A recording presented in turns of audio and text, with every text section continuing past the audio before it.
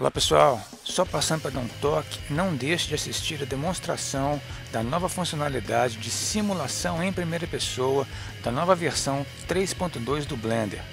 Agora o programa permite simular o ambiente de um game como se estivesse em plena plataforma, assim como no Unity ou UDK.